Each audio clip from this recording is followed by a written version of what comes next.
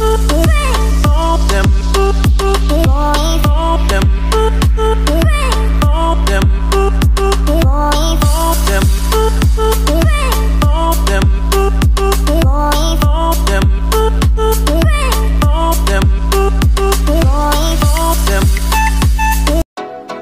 teman-teman, welcome back to my channel.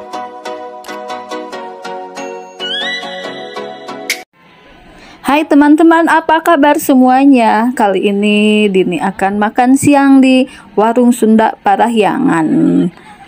Jadi Warung Sunda Parahyangan ini udah viral di TikTok ya. Jadi ya termasuk korban TikTok. Saya saya ini. Ayo kita masuk.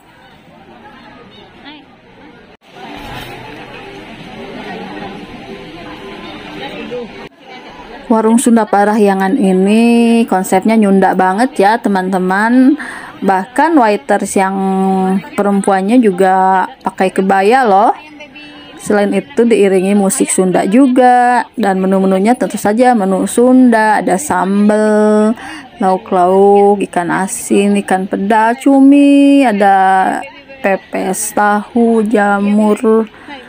Ada pete juga loh Nah, pada saat saya ke sini kebetulan lagi ada promo ayam broiler yang tadinya 19.000 menjadi 12.000. Ya, lumayan lah ya. Apa teh? Minta lagi gitu. Minta lagi. Apa kecil ya? Nungguin tempe. Mau aja dua ji. Mas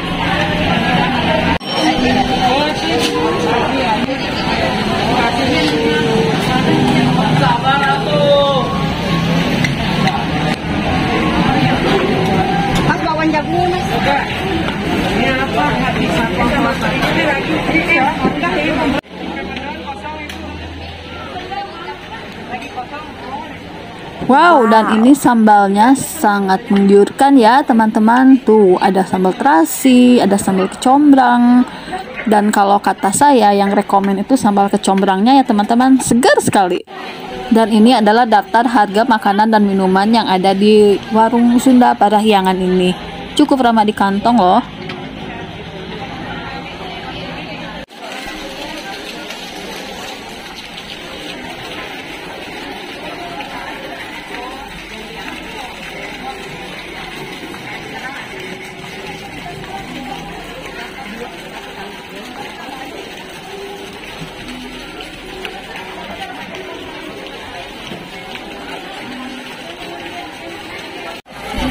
Sekarang sudah. Apa nanti rumah makan pada yang nunggu? Ini ya mau datang mana datang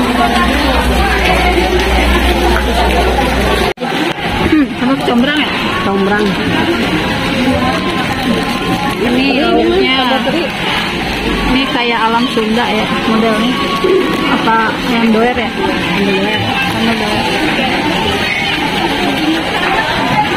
Tuh, itu ornamen di atasnya kayak ini ya payung kayak tasik ya. Kayak di tasik nih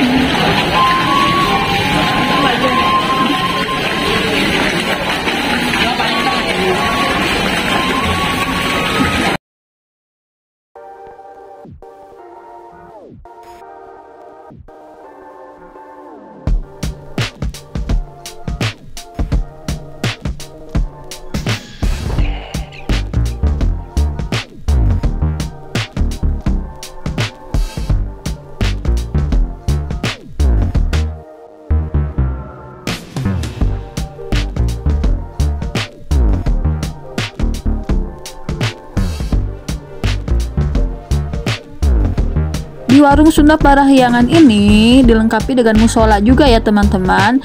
Jadi ketika waktu sholat tiba, teman-teman nggak usah khawatir, bisa langsung sholat di sini. Baiklah teman-teman sampai di sini nih vlog Dini di warung Sunda Parahyangan. Jangan lupa like, komen, dan subscribe ya. Sampai jumpa lagi di video Dini yang berikutnya.